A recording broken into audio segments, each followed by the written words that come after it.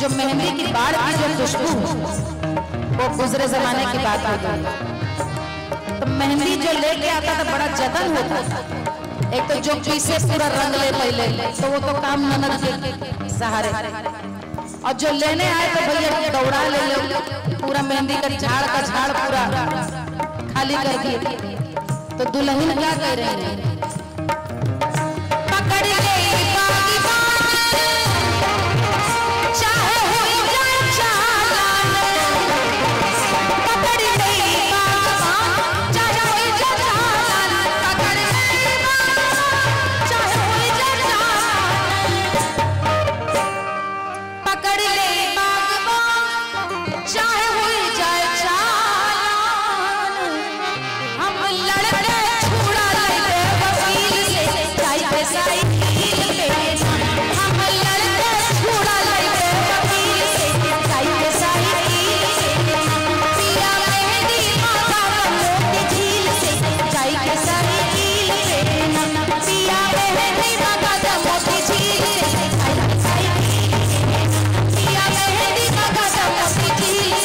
Ay, ay, ay.